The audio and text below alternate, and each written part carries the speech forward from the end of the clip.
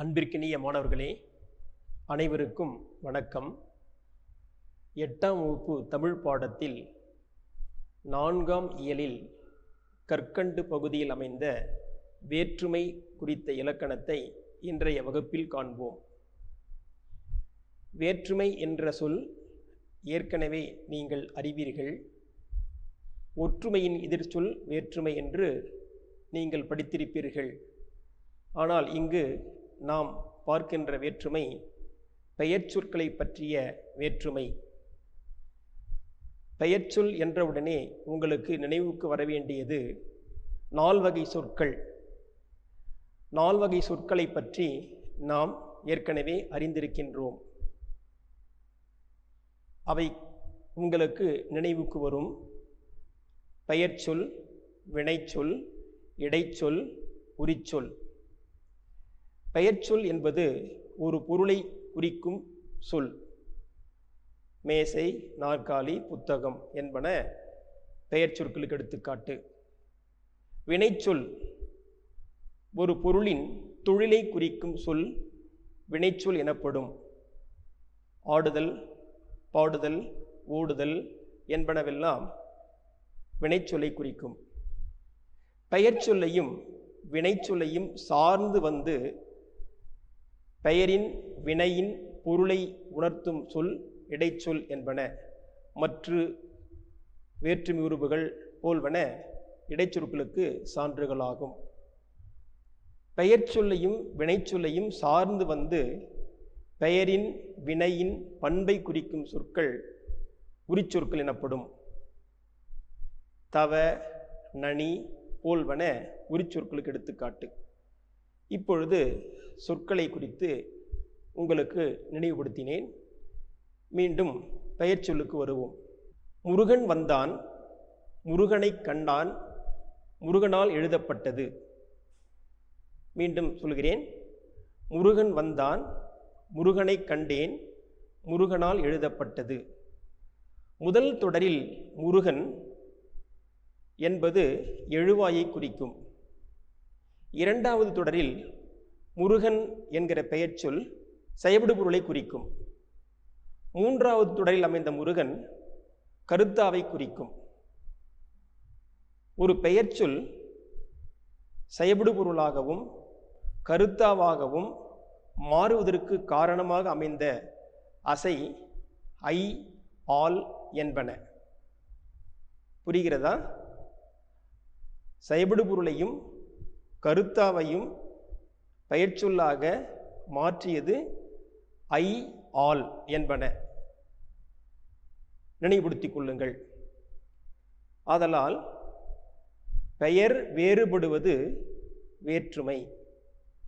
பெயர் வேறுபடுவது வேற்றுமை. பெயர் சொல்லின் பொருளை வேறுபடுத்தி காட்டும் முறைக்கு வேற்றுமை என்றும் கூறுவர். பெயர் சொல்லின் பொருளை வேறுபடுத்தி காட்டும் முறைக்கு வேற்றுமை என்றும் பெயர் கூறுவர். இந்த பெயர் சொல்லை வேறுபடுத்தி காட்ட பெயர் சொல்லின் இணைக்கப்படும் அசைக்கு வேற்றுமை உருவு என்று பெயர். அதாவது பெயர் சொல்லோடு வந்து இணைகின்ற அசை சொல்லுக்கு வேற்றுமை உருவு என்று பெயர். வேற்றுமை உருவுகளை பற்றி நாம் பின்னர் காண்போம். இந்த வேற்றுமை பதிலாக சில நேரங்களில் முழு சொல்லே கூட வேற்றுமை உருவாக வருவது உண்டு. அவ்வாறு முழு சொல் வந்தால் அதற்கு பெயர் சொல்லுருவு என்று பெயர். வேற்றுமை உருவாக ஒரு முழு சொல்லே வந்தால் அதற்கு பெயர் சொல்லுருவு என்று பெயர். ஓவியர் தூரிகையால் ஓவியம் தீட்டினார். ஓவியர் தூரிகை கொண்டு ஓவியம் தீட்டினார். இந்த இரு தொடரில் தூரிகையால் என்ற சொல்லை கவனியுங்கள். தூரிகையால் என்கிற சொல்லில் ஆள் என்கிற உருபு இணைந்துள்ளது. அந்த ஆள் என்பது வேற்றின் உருபு. தூரிகை கொண்டு அங்கே வருகிற கொண்டு என்கிற சொல் சொல்லுறுப்பு என்பதை நினைவில் கொள்ளுங்கள். இப்பொழுது வேற்றுமை பற்றி சொன்னேன். அந்த வேற்றுமைகள் எத்தனை வகைப்படும் என்றால் எட்டு வகைப்படும். வேற்றுமைகள் எட்டு வகைப்படும்.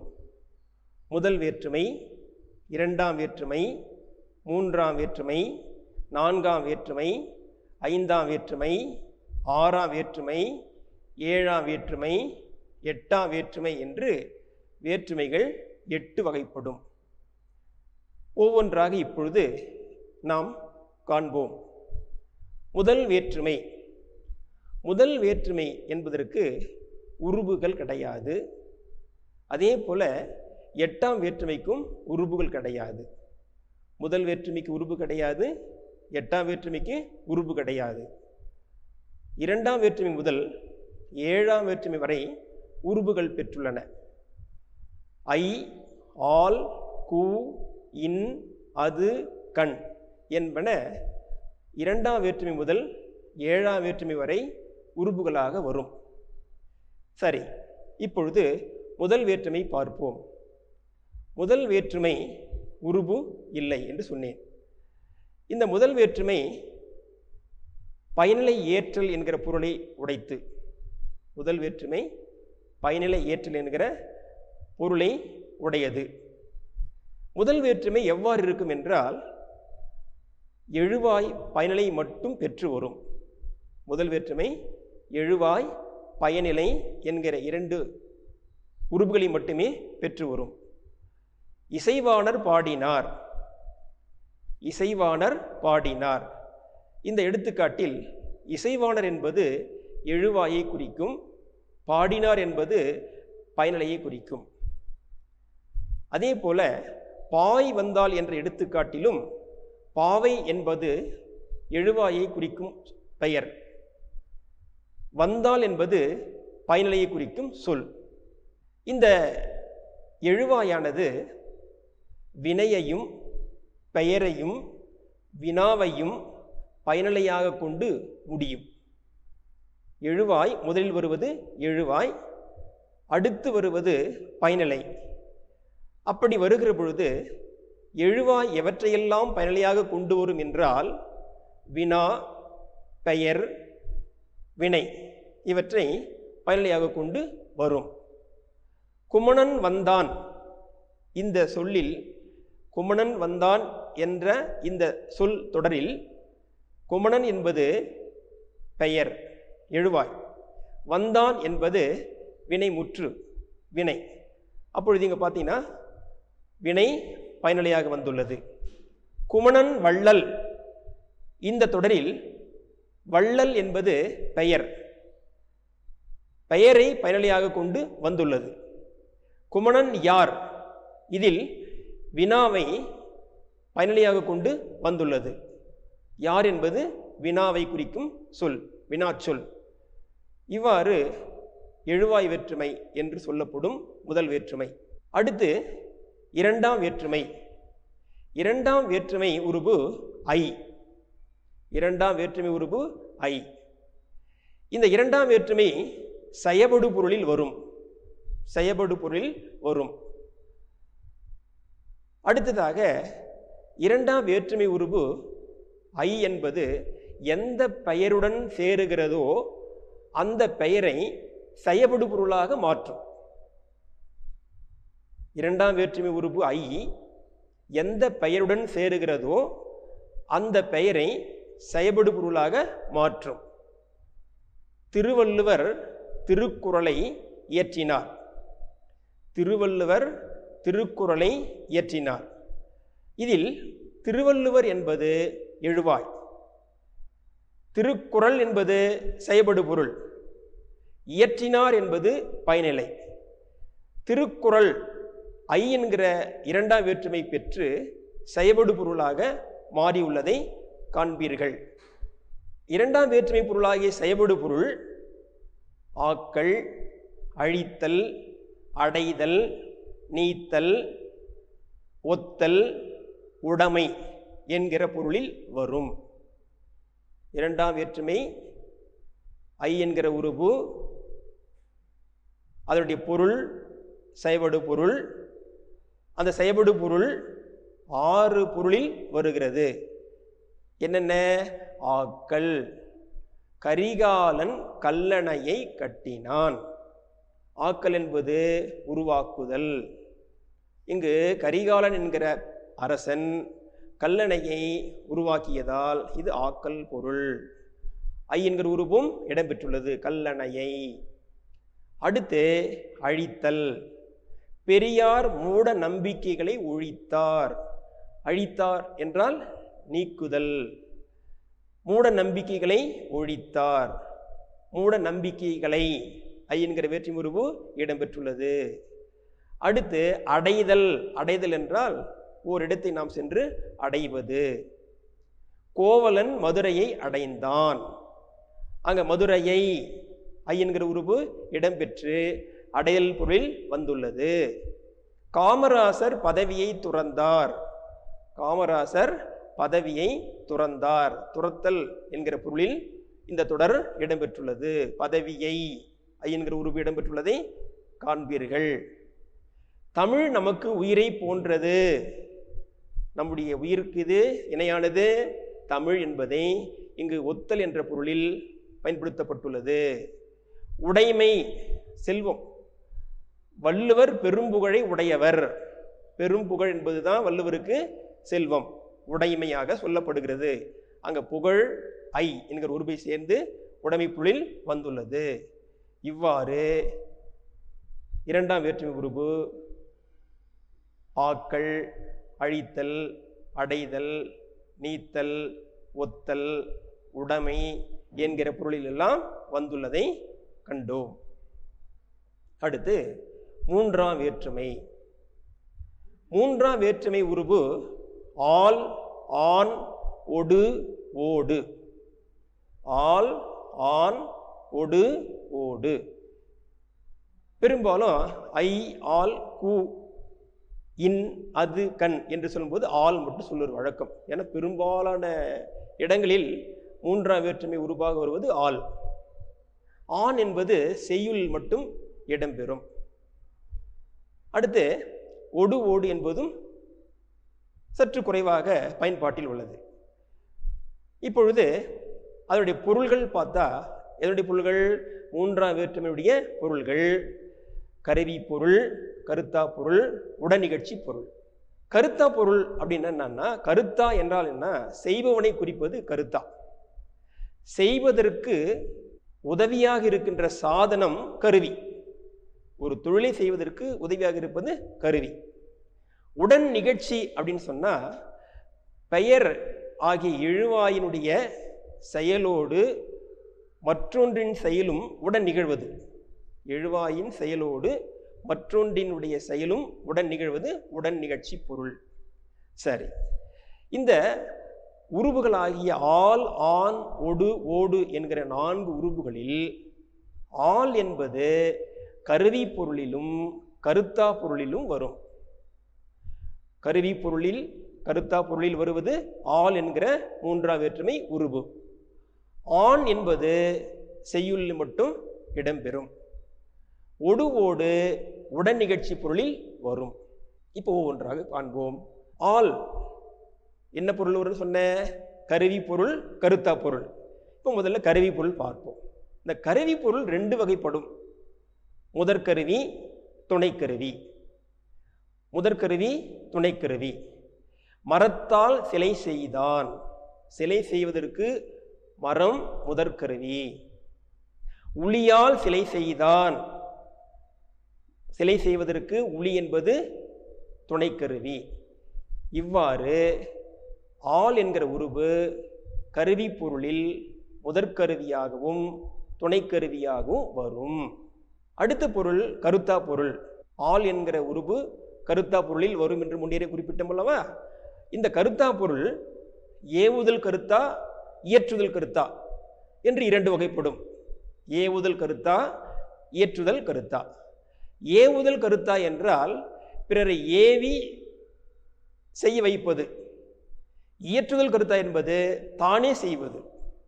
மற்றவரை ஏவி செய்ய வைத்தால் அது ஏவுதல் கருத்தா. தானே செய்து முடித்தால் அது ஏற்றுதல் கருத்தா? கரிகாலனால் கல்லணை கட்டப்பட்டது. கரிகாலனால் கல்லணை கட்டப்பட்டது. கரிகாலன் அமைச்சர் குருமக்கள் ஏவி கல்லணையை கட்டியதால் இது ஏவுதல் கருத்தா? திருவள்ளுவரால் திருக்குறள் இயற்றப்பட்டது. திருவள்ளுவரே திருக்குறளை இயற்றினார். அதனால் இது இயற்றுதல் கருத்தா? இந்த ரெண்டு எடுத்துக்காட்டிலும் ஆள் உருபு இடம்பெற்றுள்ளது. அடுத்தது உடன் நிகழ்ச்சி பொருள். உடன் நிகழ்ச்சி பொருள் என்பது முன்னரே குறிப்பிட்டல்லவா என்னது?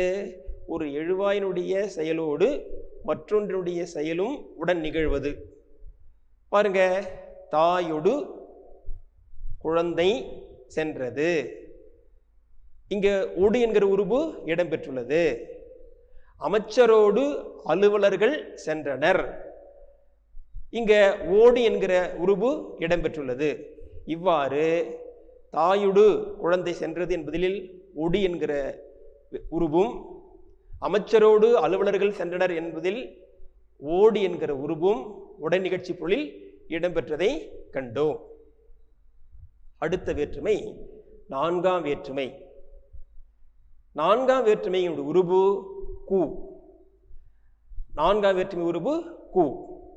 இந்த கு என்கிற உருவு கொடை பகை நட்பு தகுதி அதுவாதல் பொருட்டு முறை எல்லை என்கிற பொருள்களில் வரும். கொடை பொருளில் வரும் வகை பொருளில் வரும் நட்பு பொருளில் வரும் தகுதி பொருளில் வரும் அதுவாதல் என்கிற பொருளில் வரும். என்று குறிப்பிட்டிருக்கோம். இப்போ ஒவ்வொன்றா காண்போம். முல்லைக்கு தேர் கொடுத்தான். யாரு? அதியமான் முல்லைக்கு தேர் கொடுத்தான். அந்த தேரை திருப்பி வாங்குவாரா? வாங்க மாட்டார். அது கொடுக்கப்பட்ட பொருள். மீண்டும் பெறப்படாது. அதனால் அது கொடை. புகை மனிதனுக்கு பகை. இது பகைப்பொருள். மனிதனுக்கு பகைதான புகை? அதனால்தான் இது பகைமை பரிதி வந்ததால் இது பகைப்பொருள். அங்கே கு என்கிற உருவு இடம்பெற்றுள்ளது. கபிலருக்கு நண்பர் பரணர். இங்கு கபிலருக்கு என்ற எழுவாயில் கு என்கிற உருவு இடம்பெற்று நட்பு பொருளில் வந்துள்ளது. தகுதி. ஒருவருடைய தகுதி என்னென்ன அர்த்தம்? மனிதனுக்கு தகுதி மனிதம். அன்பு தானே. அதே போல இங்கே கவிதைக்கு அழகு கற்பனை. கவிதையுடைய தகுதியை இங்கே குறிப்பிட்டுள்ளதால் இது தகுதி பொருளில் கு என்கிற உருவு இடம்பெற்றுள்ளது. அதுவாதல் அதே போல. அதுவாதல் ஒன்று இன்னொன்றாவதல் அதுவாதல். அப்போ தயிருக்கு பால் வாங்கினான் அதுவாதல். பொருட்டு பொருட்டு எதன் பொருட்டு? ஒரு செயல் செய்தால் எதன் பொருட்டு செய்கிறோம்? கேட்குறோமா இல்லையா? அதே போல ஒருவருடைய முயற்சி எதன் பொருட்டு அமைகிறது என்று பார்க்கிறோம் இல்லையா? அதே போல இங்கே தமிழ் சான்றோர்கள் எதுக்காக பாடுபட்டாங்க தமிழ் வளர்ச்சிக்கு பாடுபட்டார்கள். தமிழ் வளர்ச்சிக்கு பாடுபட்டார். யாரு? மறைமலடிகள் தமிழ் வளர்ச்சிக்கு பாடுபட்டார். பொருட்டு. முறை. ஒன்று ரெண்டு மூன்று வரிசைப்படுத்துறது அதே போல முறை. அதான் முறை வைப்புன்னு. அதே போல இங்கு செங்குட்டுவனுக்கு தம்பி இளங்கோ. அண்ணன் யாரு? செங்குட்டுவன். தம்பி யாரு? இளங்கோ. செங்குட்டுவனுக்கு அங்கு கு என்கிற நான்காம் வெற்றி உறுப்பு அமைந்து முறை என்ற பொருளில் இடம்பெற்றுள்ளது. எல்லை தமிழ்நாட்டுக்கு கிழக்கு வங்கக்கடல். தமிழ்நாட்டுக்கு கிழக்கு வங்கக்கடல் என்று எல்லை பொருளில் இடம்பெற்றுள்ளது. அடுத்ததாக நாம் பார்க்க இருப்பது ஐந்தாம் வேற்றுமை உருபு. ஐந்தாம் வேற்றுமை உருபுகள் இல் இன். இல் என்கிற உருவும் இன் என்கிற உருவும் ஐந்தாம் வேற்றுமை உருபுகள். இந்த இரண்டு உருவம் நீங்கள் பொருளில் ஒப்பு பொருளில் எல்லை பொருளில் ஏது பொருளில் வரும். சரியா? இவையெல்லாம் நீங்கள் ஒப்பு எல்லை ஏது என்கிற பொருள் சார்ந்து வருவது ஐந்தாம் வேற்றுமை. மலையின் வீழ் அருவி. மலையின் வீழ் அருவி. மலை விட்டு விழுந்து அருவி நீங்குகிறது. அதனால் இது நீங்கள் பொருள் வந்தது. இன் என்கிற உறுப்பு இங்கே இடம்பெற்றுள்ளது. பாலின் வெளிது கொக்கு. பாலை போட பாலை போல வெண்மையானது கொக்கு. ஒப்பு பாலும் கொக்கும். என்ன நிறம்? வெண்மை நிறம். பாலின் பாலை போல வெண்மையானது கொக்கு என்று ஒப்பு பொருளில் இன் என்கிற ஐந்தாம் வேற்றுமை உருவு இடம்பெற்றுள்ளது. பவானியின் கிழக்கே மேட்டூர். எல்லை. பவானிக்கு கிழக்கு என்ன ஊர் இருக்குது? மேட்டூர் என்பதை இங்கே இன் என்கிற உருபு அமைந்து எல்லை பொருளை தருகிறது. அடுத்து ஏது? ஏது என்றால் காரணம். கல்வியில் சிறந்தவர் கம்பர். கம்பர் எதனால் சிறந்தவர்? கல்வியினால் சிறந்தவர். அப்போ கல்வியில் இல் என்கிற உருபு அமைந்து ஏது புல் தந்ததால் இது ஐந்தாம் வேற்றுமை உருபு. அடுத்து ஆறாம் வேற்றுமை. ஆறாம் வேற்றுமை அது ஆது ஆ. அது ஆது ஆ. இந்த மூன்றும் ஆறாம் வேற்றுமை உறுப்புகள். இந்த ஆறாம் வேற்றுமை உறுப்புகள் கிழமை பொருளில் வரும். கிழமை கிழமை என்றால் உரிமை. உரிமை குறிப்பது கிழமை. இந்த மூன்று உருவில் ஆது ஆ என்பவை தற்காலத்தில் பயன்பாட்டில் இல்லை. இக்காலத்தில் பயன்பாட்டில் இல்லை. அப்போ இக்கால பயன்பாட்டில் உள்ள ஆறாம் வேற்றுமை உருபு ஆ அது. அது என்பது என்ன பொருள் வரும்னு சொன்னேன் கிழமை பொருள் வரும்னு சொன்னேன் இல்லையா? இந்த கிழமை என்பது என்ன? உரிமை. இந்த கிழமையை ரெண்டு வகையாக பிரிக்கிறாங்க. தற்கிழமை பிரிதின் கிழமை. தற்கிழமை பிரிதின் கிழமை. தற்கிழமை என்பது தன்னோடு ஒன்றி உள்ள உரிமை. தன்னை விட்டு நீக்க முடியாது. பிரிதின் கிழமை என்பது தன்னை விட்டு பிரிக்கக்கூடிய உரிமை. நல்லா புரியுதப்பா? புரியுதுங்களா எல்லாருக்கும்? தற்கிழமை என்பது தன்னோடு ஒன்றிய உரிமை. பிரிதின் கிழமை என்பது தன்னை விட்டு பிரிக்கக்கூடிய உரிமை. இப்போ எடுத்துக்காட்டு பார்த்தா உங்களுக்கு புரியும். பயிரினது பசுமை. பயிர் எப்படி இருக்கும் பச்சையாக இருக்கு இல்லையா? அந்த பசுமை பயிர் விட்டு நிற்க முடியுமா? நிற்க முடியாது. அது தற்கிழமை. வளவனது வீடு. வளவனை வீட்டை விட்டு பிரிக்க முடியுமா இல்லையா? பிரிக்கலாம். அவ்வாறு பிரிக்கக்கூடியது பிரிதின் கிழமை. இவ்வாறு அது என்கிற உருவு இடம்பெற்று கிழமை பொருளில் வந்ததை கண்டோம். அடுத்து வேற்றுமை ஏழாம் வேற்றுமை. ஏழாம் வேற்றுமை உருபு கண். இந்த கண் என்கிற ஏழாம் வேற்றுமை உருவு காலம் இடம் என்ற பொருளில் இடம்பெறும் காலம் இடம் என்னும் பொருளில் வந்து இடம்பெறும் ஊரின் கண் மழை பெய்தது. ஊரின் கண் மழை பெய்தது. இரவின் கண் மழை பெய்தது. ஊர் என்பது இடத்தை குறிக்குது. இரவு என்பது காலத்தை குறிக்குது. புரியுதா? இவ்வாறு இடம் சார்ந்தும் காலம் சார்ந்தும் கண் என்கிற ஏழாம் வேற்றுமை வந்து பொருள் தரும். கடைசியாக நாம் பார்க்க இருப்பது எட்டாம் வேற்றுமை. எட்டாம் வேற்றுமை உருபு கிடையாது. முதல் வேற்றுமைக்கு எவ்வாறு உருபு கிடையாதோ அதே போன்று எட்டாம் வேற்றுமைக்கும் உருபு கிடையாது. இந்த எட்டாம் வேற்றுமை விழிப்பொருளில் வரும். விழித்தல். விழித்தல் என்றால் அழைத்தல் கூப்பிடுதல். இந்த எட்டாம் வேற்றுமை படற்கை பெயரை முன்னிலை பெயராக மாற்றி அழைப்பது தான் விழி. படற்கை பெயரை முன்னிலை பெயராக மாற்றி அழைப்பது தான் விழி. அவ்வாறு அழைப்பதற்கு விழி வேற்றுமை என்று பொருள்.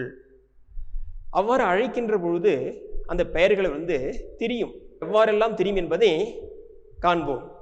இப்போ தங்கை என்கிற படற்கை பெயர் முன்னிலையாக மாற்றும் பொழுது தங்காய் தங்காய் என்று மாறும். இங்கே திரிதல் நிகழ்ந்துள்ளது.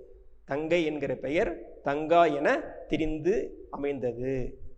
கவிஞன் என்கிற படற்கை பெயர் கவிஞ்ச என்று கடைசி எழுத்து கெட்டு அமைந்திருக்கிறது. மகள் என்கிற படற்கை பெயர் மகளே என்று அங்கு எழுத்து மிகுந்துள்ளது.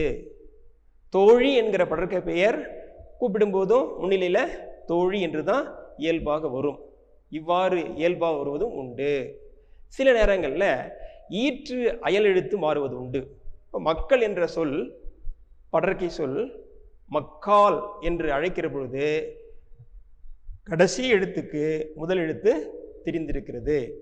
இவ்வாறு சொற்கள் படற்கை பெயர்கள் திரிந்து வருவது எட்டாம் வேற்றுமை என்று சொல்லப்படும். மாணவர்களே இதுவரை நாம் முதல் வேற்றுமை முதல் எட்டாம் வேற்றுமை வரை ஒவ்வொன்றாக விளக்கினேன். விளக்கிய கருத்துக்களை இப்பொழுது நாம் தொகுத்து காண்போம். வேற்றுமை என்றால் என்ன? என்று முதல் வினா எழுப்பி அதற்கு விடை கண்டால் வேற்றுமை குறித்து நாம் அறிவோம். பெயர் சொல்லின் பொருளை வேறுபடுத்தி காட்டும் முறைதான் வேற்றுமை. அப்போ பெயர் சொல் வேறுபடுவது வேற்றுமை. இந்த வேற்றுமை வந்து எட்டு வகைப்படும். எட்டு வகைப்படும் என்று நினைவில் கொள்ள வேண்டும். முதல் வேற்றுமை எழுவாய் பயனிலை இடம்பெறுவதால் அதற்கு எழுவாய் வேற்றுமை என்று பெயர். முதல் வேற்றுமைக்கு உருபு கிடையாது. அடுத்து இரண்டாம் வேற்றுமை உருபு ஐ. இந்த இரண்டாம் வேற்றுமை சைபடு பொருள் வேற்றுமை என்றும் சொல்லப்படும். ஏனென்றால் இரண்டாம் வேற்றுமையுடைய பொருள் சைபடு பொருள்.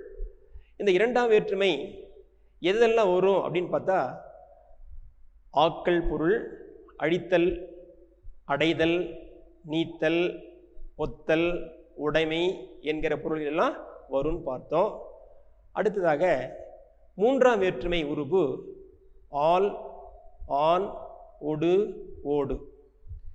இதில் வந்து ஆல் என்கிற உருபு பெரும்பாலும் பயன்படுத்தப்படுகிறது. ஆல் என்கிற உருபு வந்து கருவி கருத்தா என்கிற பொருளில் இடம்பெறும். ஒடு ஓடு என்கிற மூன்றாம் வேற்றுமை உறுப்புகள் வந்து உடன் நிகழ்ச்சி பொருளில் வரும். நான்காம் வேற்றும் உறுப்பு கூ. கூ என்பது நான்காம் வேற்றுமை உருபு நான்காம் வேற்றுமை கொடைப்பொருள் பகைப்பொருள் நட்பு பொருள் தகுதி பொருள் அதுவாதல் பொருள் பொருட்டு முறை எல்லை என்கிற பொருள்களில் வரும். ஐந்தாம் வேற்றுமை உருபு நீங்கள் ஒப்பு எல்லை ஏது ஆகிய பொருளில் வரும். ஆறாம் வேற்றுமை உறுப்புகள் அது ஆது ஆ. உரிமை பொருள் வருவது கிழமை புல் என்று சொல்லப்படும். கிழமை என்பது தற்கிழமை பிரிதின் கிழமை என்று இரு வகைப்படும் ஏழாம் வேற்றுமை உருவு கண். கண் என்கிற வேற்றுமை உருவு இடம் காலம் குடிக்கும் பொருளில் வரும். எட்டாம் வேற்றுமை விழி வேற்றுமை. இந்த எட்டாம் வேற்றுமைக்கும் உருவு கிடையாது. எட்டாம் வேற்றுமையில் படற்கை பெயர் முன்னிலை பெயராக மாறி வருவது விழி வேற்றுமை என்று நாம் கண்டோம். விடைபெறுகிறேன். நன்றி வணக்கம்.